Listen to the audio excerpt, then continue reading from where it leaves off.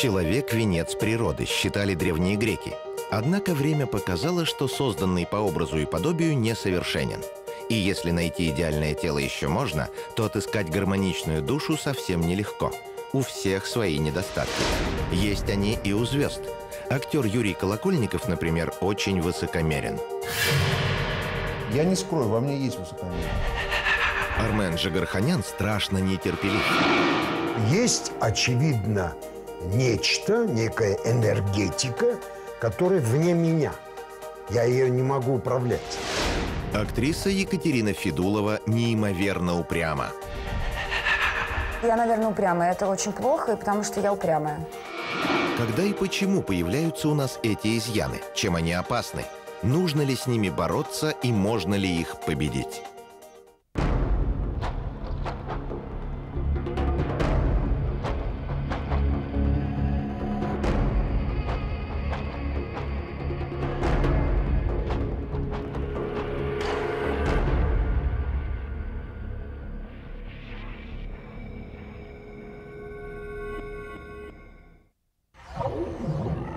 20 лет назад американский психоаналитик Джосс Стивенс, изучая поведение людей, сделал удивительное открытие. Оказалось, что к депрессиям и психическим расстройствам человека приводят семь недостатков. Семь драконов, как назвал их ученый. Они сидят внутри каждого из нас. Парализуют волю, лишают радости, порождают комплексы, толкают на преступления. Съедают нас изнутри.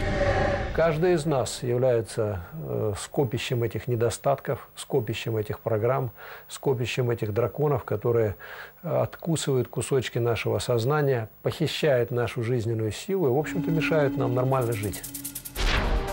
Американский ученый пришел к выводу, что главные враги человечества – жадность, нетерпеливость, мученичество, упрямство, низкая самооценка, самоуничтожение и, конечно, высокомерие –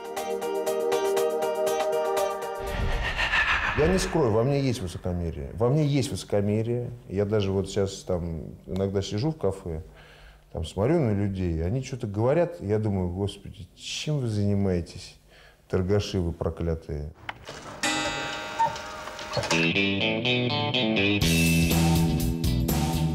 Актеру Юрию Колокольникову 28. Сниматься в кино он начал с 14. Эпизодические роли в фильмах «Ретро втроем» Петра Тодоровского и «Зависть богов» Владимира Меньшова для начала совсем даже неплохо. Далеко не каждому состоявшемуся актеру выпадает шанс поработать с такими именитыми режиссерами. Потом была роль лейтенанта контрразведки Блинова в картине «В августе 44-го», которая принесла Колокольникову настоящую популярность. И хотя удачный профессиональный старт еще не гарантия успеха, 19-летний актер, который сделал в кинематографе всего на пятак, стал преподносить себя публике так, словно подвигов совершил на целый червонец. Ссылаясь на вечную занятость, он демонстративно избегал поклонников, которые мечтали получить его автограф, и ни под каким предлогом не соглашался на интервью. Ну, как-то вот такая мысль в меня влож... вложена была, что вообще интервью давать не надо. И вообще ты должен быть закрыт, загадочен. И вообще интервью это дают только э, бессмысленные, ну, не бессмысленные люди, было ощущение, ну, как бы вот это лишнее.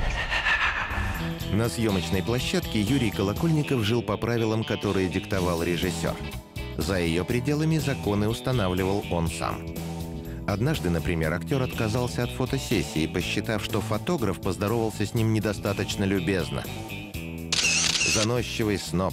Именно так несколько лет назад отзывалась о Юрии Колокольникове пресса. Со временем высокомерие актера стали замечать не только журналисты, но и друзья. Меня многие считают высокомерным человеком, и считали, и сейчас считают. Я всегда этому удивлялся. Я не могу понять, почему. Мои ближайшие друзья, с которыми я там сейчас просто лучшие мои друзья, да, дружу, они все время рассказывают историю про то, вот, я помню, как Юра вошел, в, типа, в дверь с таким видом, как будто мы здесь все уроды. Я вот до сих пор не могу понять, почему так... И это не единственный случай, все так говорят. Почему так говорят, я не понимаю.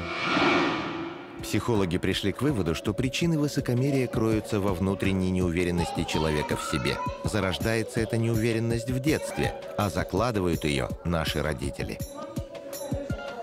Обычно э, высокомерие возникает, когда э, ребенок растет, и родители все время сравнивают его достижения и вообще его личность с некоторыми более высокими стандартами. То есть, например, он учится на четверке, они говорят, а вот есть люди, которые учатся на пятерке. В результате возникает страх неудачи, который со временем усиливается и обостряется. Особенно после определенных достижений и успехов. Человек добился чего-то и боится потерять свое положение. А чтобы не выдать страх окружающим, надевает маску высокомерия. Ходит демонстративно выпитив грудь. Однако в душе у него робость, застенчивость и неуверенность в себе. Оп. Скрывать внутреннюю неуверенность можно по-разному. Например, бросить вызов друзьям, родителям, журналистам и даже судьбе. Восемь лет назад молодой актер Юрий Колокольников поступил именно так. Закончив театральное училище, он отправился покорять Голливуд. Идет мотор! Да. Пошли! Всемирная фабрика грез оказалась не слишком гостеприимной к восходящей российской звезде. Юрию не удалось получить даже эпизодическую роль. Чтобы выжить, актеру пришлось убирать на улицах собачьи экскременты, доставлять грузы, работать официантом. Только тогда Юра понял, таких как он в Голливуде миллионы. Не солоно хлебавший, Колокольников вернулся в Россию. Раньше действительно был абсолютно уверен и в своем таланте, и в своем во всем. В том, что ты самый лучший, в том, что ты самый гениальный. Ну, это еще там, может Чем больше ты работаешь, и чем, ну, лично я, и чем больше ты что-то там созидаешь, снимаешься и так далее, тем больше тебе важна на самом деле оценка, тем больше ты становишься неуверенным в себе, сомневающимся. Поездка в Америку только усилила внутреннюю неуверенность актера в себе – Зато высокомерие окружающих, которое он впервые прочувствовал, как говорится, на собственной шкуре, работая официантом, дворником и курьером, заставило его посмотреть на мир и себя самого другими глазами. Если человек начинает воспитывать в себе нормальную, здоровую уверенность, нормальную, здоровую уверенность, внутреннюю силу, ответственность, э, чувство позитивного отношения к миру, к своим целям, которые он ставит, и к другим людям, э, то у него отпадает необходимость быть неуверенным и прятать эту неуверенность за топыренную губу, за высокомерную маску. Как только Колокольников смог побороть дракона высокомерия, к нему пришло спокойствие и уверенность. Теперь Юрий с легкостью соглашается на интервью и часами готов стоять на морозе, чтобы подписать открытки всем своим поклонникам. Дорогие мои москвичи. Я начал ценить какие-то другие вещи, я понял. Я начал ценить другие. Ну, во-первых, у меня родился ребенок. Ребенок – это очень важная вещь. Она реально сильно меняет людей. Выходит, родители могут породить в нас коварных драконов, а собственные дети способны от них избавить.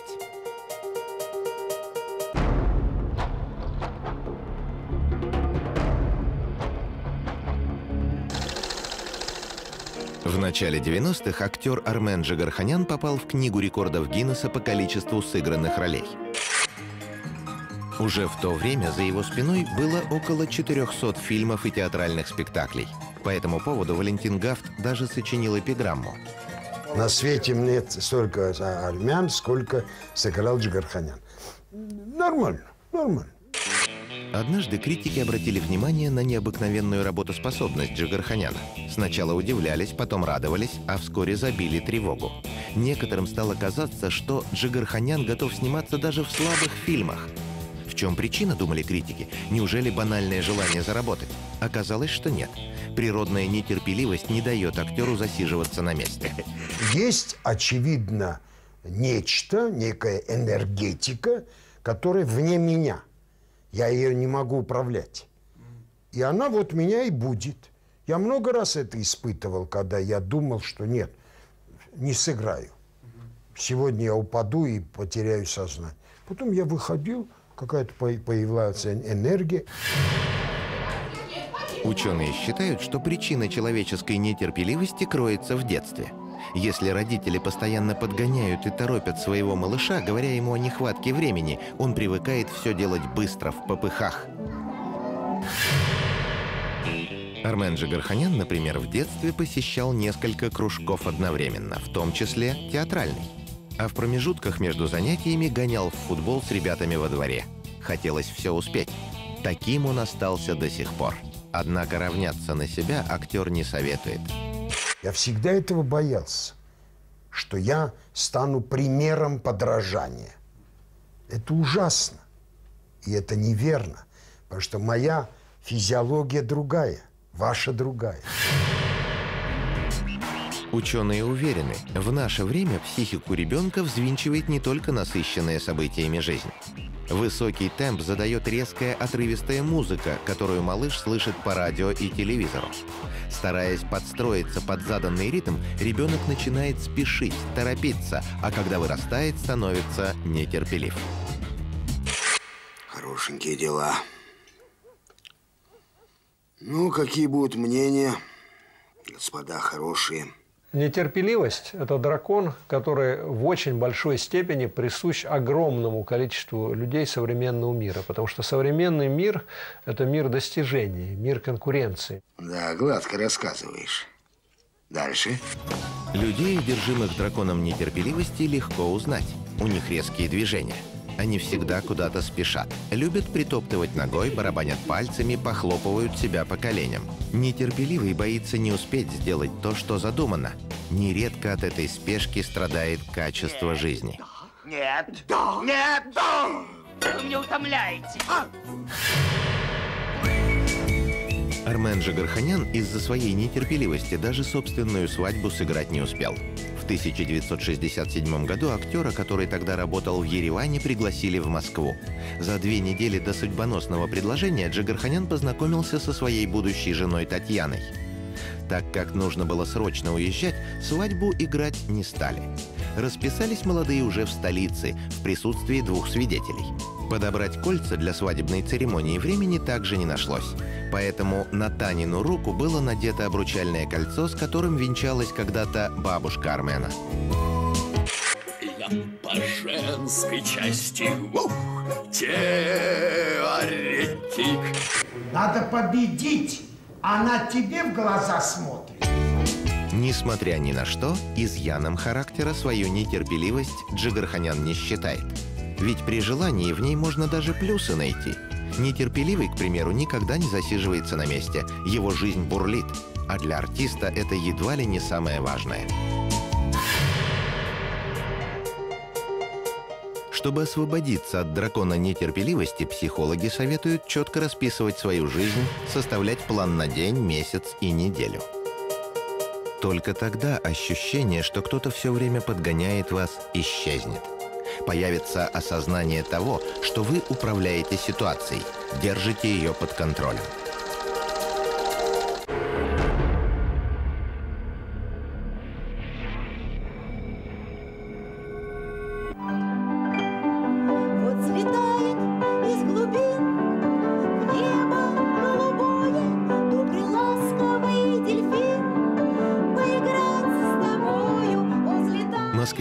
Влада Новикова по образованию врач. Долгое время она работала в Российском научном центре восстановительной медицины, занималась с детьми, страдающими легочными заболеваниями.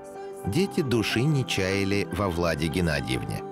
Она уделяла внимание каждому малышу. За время работы в центре Влада Новикова спасла немало детских жизней, но даже не подозревала, что вскоре ей придется бороться за жизнь собственную. Честно говоря, за объемом этой работы я и не почувствовала никаких там недомоганий физических, и не было никаких, э, собственно, проблем. Это случилось все, в общем-то, в одночасье э, когда мое физическое состояние уже было таково, что надо было обращаться к коллегам, к врачам, которые могли бы узнать, в чем дело, собственно, да? Диагноз шокировал. Раковая опухоль третьей степени. Болезнь развивается стремительно. Врачи понимали, обычные методы лечения в данной ситуации не помогут. Владе предложили радикальный способ борьбы с болезнью – сочетать химиотерапию с лучевой терапией. Она, как врач, понимала, ее организм может просто не выдержать такой перегрузки химическими препаратами. Но все-таки решила рискнуть, согласилась на опасные эксперименты как э, организм себя поведет, и может быть исход и такой, и, и иной. Я понимаю, что если будет, предположим, отрицательный э, э эффект от лечения, то это тоже в помощь врачам, ученым. Если это поможет в методиках дальнейшего лечения какого-то, да, или, предположим, нахождению новых путей для того, чтобы помочь более эффективно больным, вот это самое главное. Если человек принимает решение принести себя в жертву, значит в нем проснулся дракон самоуничтожения. Одержимый этим драконом становится дерзким, отчаянным, склонным к риску. Иногда это приносит пользу. Например, во время военных конфликтов именно дракон самоуничтожения толкает людей на подвиги. Но он же доводит человека до самоубийства – очень важно воспитывать в себе состояние бесстрастия, состояние спокойствия, потому что э, человек, вот, э, как, который, как поет Высоцкий, «чую с гибельным восторгом пропадаю» и бросается в пропасть, э, такой человек, э, он, э, ему трудно себя контролировать, трудно себя ловить, когда ты уже летишь. Натиска дракона самоуничтожения не выдержали Винсент Ван Гог, Эрнест Хемингуэй, Джим Моррисон, Мерлин Монро, Игорь Сорин. Пробуждается этот дракон, когда человеку становится очень тяжело. Начинается с отчаяния, с уныния, он начинается с э, чувства э, бесперспективности. И в состоянии отчаяния э, многим людям, особенно в России, свойственно делать саморазрушительные действия, сказать, да пропади оно все пропадом. И э, начать э, выступлений в каком-то э, преувеличенном таком сжигании самого себя, разрушать свою жизнь. Лечение, предложенное Владе Новиковой, оказалось непосильно тяжелым. Чтобы справиться с физической болью и тяжелой депрессией, которая возникла после изнуряющих процедур, Влада начала петь и рисовать картины прямо в палате. Цветные пятна на бумаге очень точно отражали ее чувства и эмоции.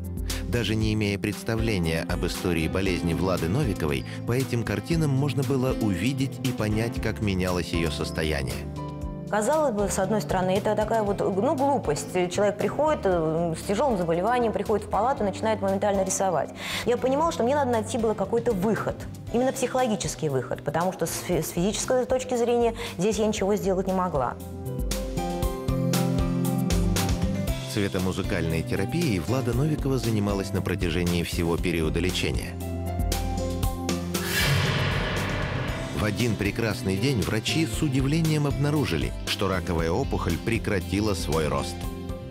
Я очень благодарна э, судьбе, я благодарна Господу Богу, э, как-то не парадоксально звучит, вот за то, что со мной это случилось. Потому что из э, всего, что с нами происходит в жизни, мы выносим какой-то определенный урок.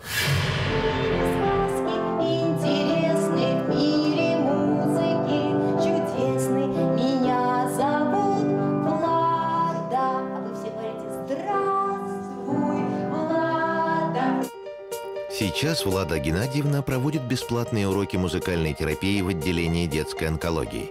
Она организовала центр, где работает с детьми-инвалидами со всей Москвы и Подмосковья. Дракон самоуничтожения от нее отступил. Он превратился в самопожертвование.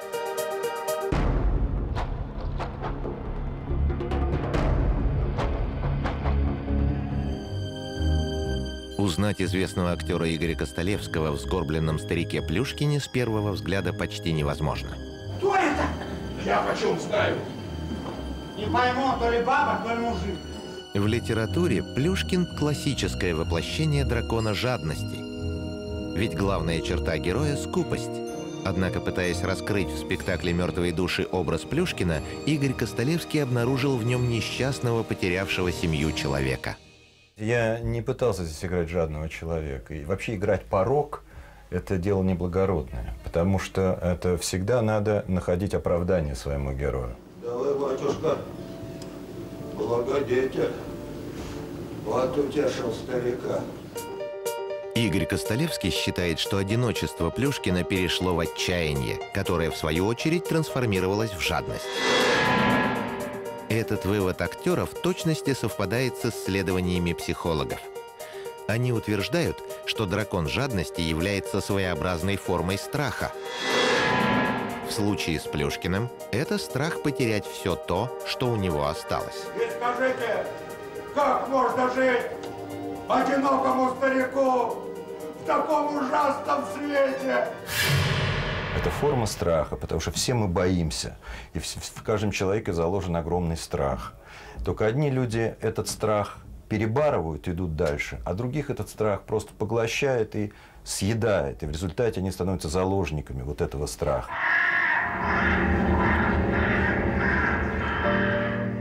Ученые считают, что жадным человек становится из-за недостатка любви и внимания. Искать корни человеческой жадности психологи советуют в детстве.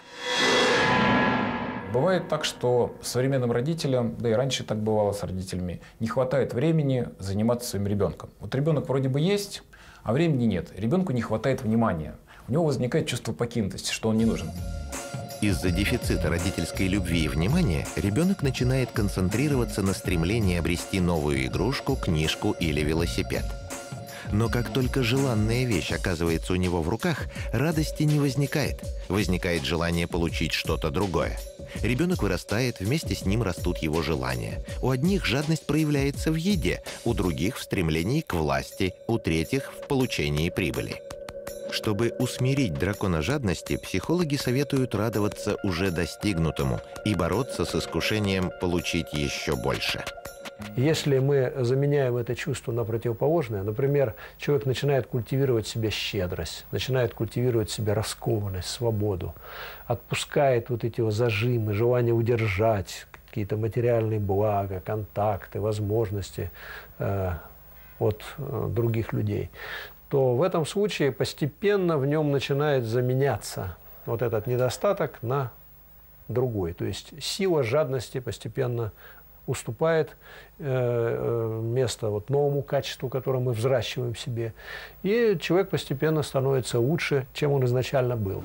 Но почему не послал Господь такого сына? Если человек не научится радоваться тому, что у него есть, то все его богатства пойдут прахом. Неспроста, наверное, большинство людей, терзаемых драконом жадности, заканчивают свою жизнь в нищете и одиночестве. Такова была и участь Плюшкина. Ну, если вам приходится общаться с такими людьми, то ну, попытаться, наверное, ну, не знаю, я... Я, я сталкивался в своей жизни э, с людьми жадными. Это, это было. Не знаю, мне это было очень неприятно, когда я, я видел это качество.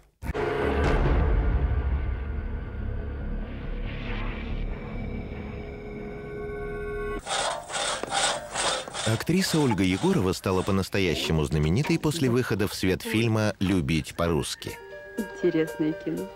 Большая часть мужского населения России буквально сходила по ней с ума. Однако в самый разгар популярности Ольга исчезла с телеэкрана. Поговаривали, что она вышла замуж за иностранца, уехала в Америку. На самом деле в жизни актрисы появился мужчина. Бывший военный оказался не только успешным бизнесменом, но и галантным кавалером.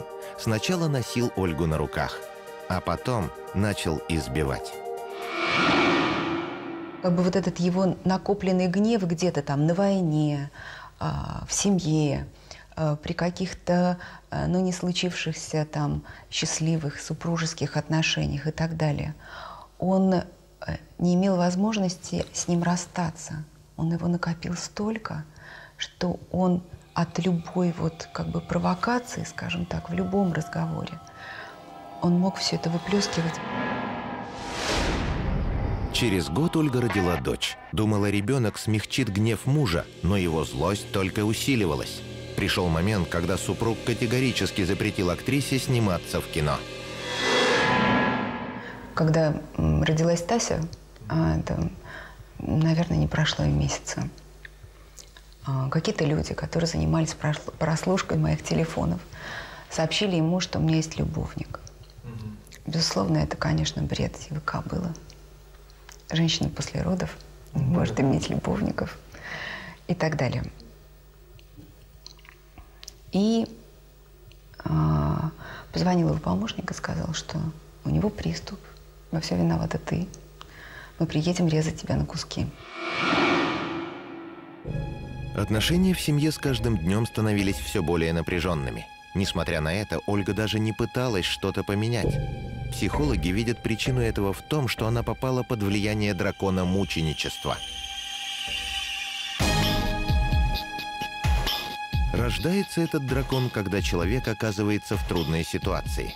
Ему кажется, выхода нет, а во всем, что происходит вокруг, подверженные дракону мученичества винят окружающих. Такой человек, он может верить в судьбу, э, верить, что его счастье зависит от его начальника, от страны, где он живет, там, не знаю, э, от мужа, э, э, который будет себя вести по-другому. Он не пытается сам что-то изменить. Если человек при этом считает, что он страдает во имя блага, во имя любви, что, то тогда он является мучеником.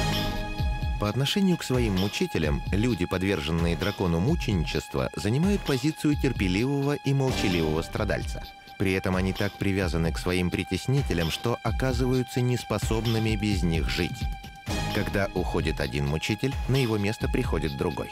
Страдание становится образом жизни. Оно превращается в назойливую привязанность, манию, освободиться от которой чрезвычайно сложно. Да, и тогда как от этого избавиться? Осознать вот эту вот всю, всю эту картину, осознать, что она ставит свою жизнь и радость семейной жизни в зависимость от мужа. Надо тогда перевести фокус внимания на себя и сказать, а я-то что? Я-то свою жизнь буду строить или нет? Ольга Егорова вовремя смогла увидеть и осознать вред дракона мученичества. Она поняла, что попала в зависимость от человека, который ее недостоин – Актрисе хватило смелости расстаться со своим мучителем. А когда тот попытался с помощью рукоприкладства вернуть любимую, Ольга обратилась в милицию. Кроме того, она рассказала обо всем журналистам. Видимо, настал момент. Момент, э, э, я перестала бояться. Я перестала бояться, потому что, знаете, очень легко манипулировать человеком, который боится. Как только ушел страх, актриса перестала чувствовать себя жертвой, перестала искать сочувствия. Ольга Егорова запретила себе страдать, а в будущее смотрит с оптимизмом.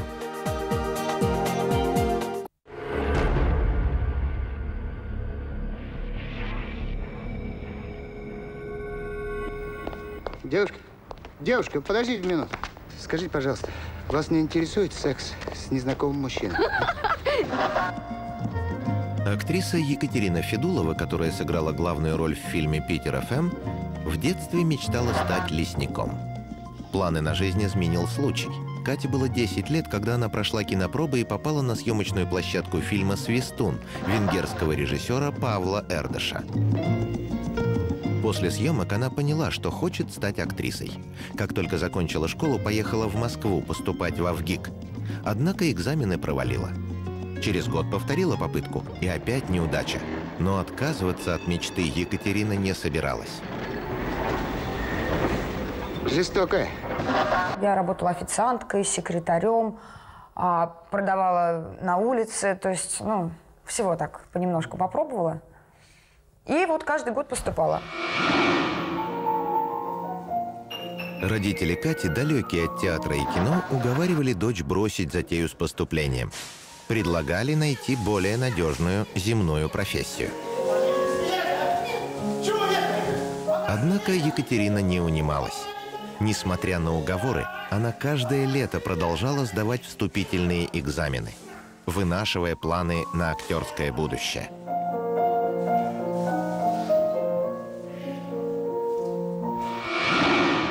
Это длилось, наверное, так, с 16 лет до ну, в общем, на пятый раз я поступила, на пятый. Пятый год. Я, наверное, упрямая. Это очень плохо, и потому что я упрямая. Ну, потому что говорят, что в жизни надо как-то быть более извор... изворотливее, ну и приспособляемей. А я как-то, я более... Если ты точно знаешь цель, то это очень-очень как-то хорошо быть упрямым. Ученые считают, что упрямство, как и прочие недостатки, зарождаются в нас с детства. Это происходит, когда решения за ребенка все время принимают взрослые, действуя против его воли. Например, отправляют в пионерский лагерь, увозят за город, оставляют одного дома, не спросив, хочет он того или нет. Со временем у ребенка формируется убеждение, что перемена места – это плохо. Он начинает принимать в штыки любое предложение. А когда вырастает, теряет всякую гибкость и отличить совет от приказа уже не может.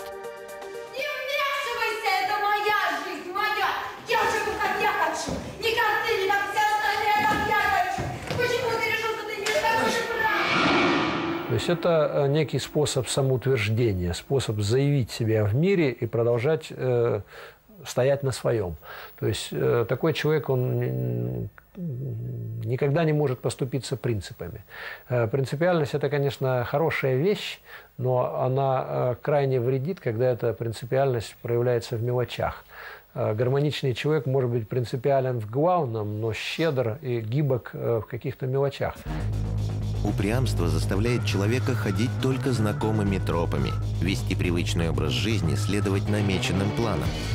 Свернуть упрямца с пути, убедить его посмотреть по сторонам практически невозможно. Представьте себе, что вы вот так как-то вот напряглись, вот полностью вот руки так сжали, э, у вас тело такое вот все, и вот от вас что-то просит, вы говорите, нет, не сделаю ни за что. Вот это вот такое физическое состояние этого человека.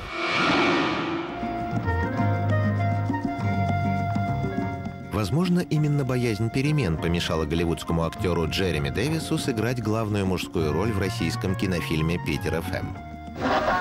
Пригласить в Россию американского актера оказалось непросто. Работа с агентами актера продолжалась 8 месяцев. В итоге контракт был подписан, но найти общий язык с Джереми ни режиссеру, ни продюсеру картины не удавалось. С первой же минуты стало понятно, ну, прям уж не с первой, с первой, но со второй. Стало понятно, что мы не сможем с ним снимать. А, Вот просто не сможем. Он был дико упертый. И он настолько отстаивал то, что он хотел. Джереми не шел ни на какие компромиссы. Он самостоятельно переписал свою роль, а играл только так, как считал нужным. Уговоры и убеждения не помогали. Ученые считают, что когда упрямец говорит «нет», он испытывает тайную радость. В момент отказа человеку кажется, что он владеет ситуацией. И не удалось э, не то что сломать, а просто даже нащупать какую-то вот э, линию э, с этим голливудским замечательным человеком. Мы с ним так и не договорились. Я его уволила в итоге. Упрямство может принести пользу только в одном случае, если человек способен обратить его в настойчивость. Это доказала на своем примере актриса Екатерина Федулова.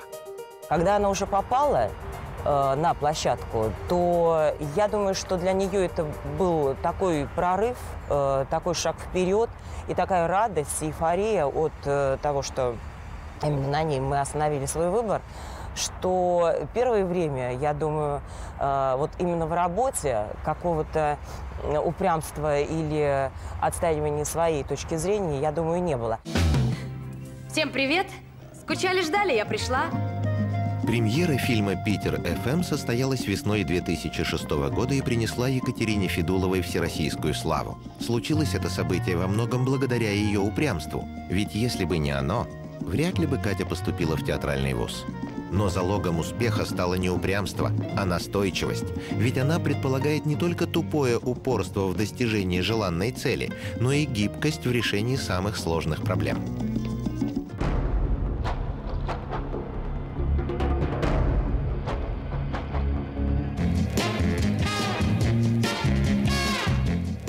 Осенью 2007 года британский журнал Empire признал Анджелину Джоли самой сексуальной актрисой современности. Опрос, проведенный изданием, показал, что зрители считают Джоли обаятельней и привлекательней самой Мерлин Монро. Трудно представить, что когда-то Анджелина Джоли была неуверенным в себе ребенком. Оказывается, секс-символ Голливуда мучила низкая самооценка. Дракон самоуничижения, связанный с низкой самооценкой, представляет собой оборотную сторону гордыни. Э, Если э, высокомерный человек очень высоко привык о себе думать, то э, человек, подверженный действию этого дракона, оценивает себя гораздо ниже, чем он есть на самом деле. В детстве Анжелину трудно было назвать красивой. Худышка, очкарик, да еще и скобки на зубах. Все зеркала девочка обходила стороной, а в будущем видела себя директором похоронного бюро.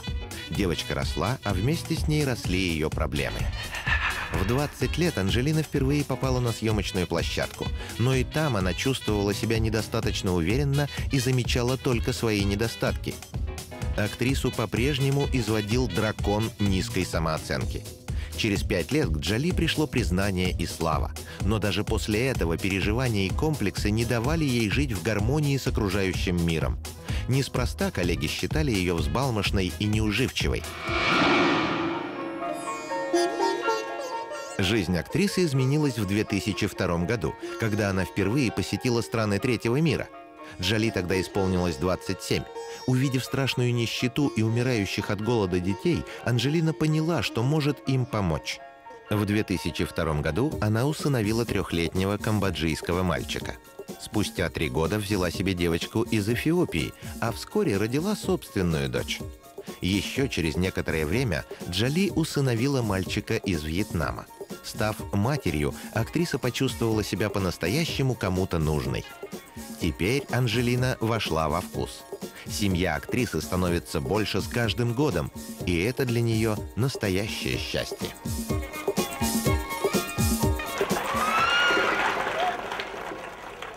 Если мы имеем заниженную самооценку, то мы тогда считаем, в частности, что мы и счастья недостойны.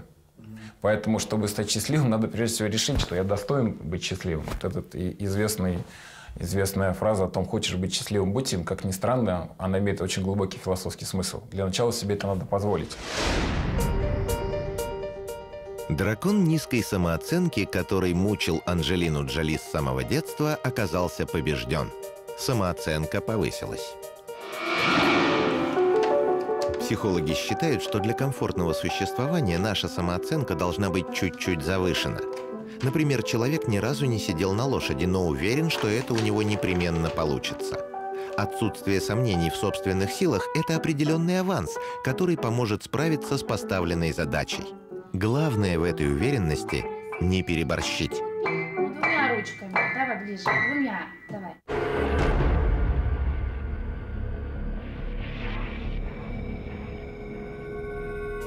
Ученые уверены, семь человеческих недостатков, семь драконов, которые мешают нам жить, высокомерие, нетерпеливость, жадность, самоуничижение, мученичество, саморазрушение и упрямство – это паразиты, а вовсе не то, что мы есть на самом деле. Зарождаются все наши драконы в детстве. И хотя достичь полной победы над ними вряд ли кому удастся, укротить коварных рептилий при желании можно.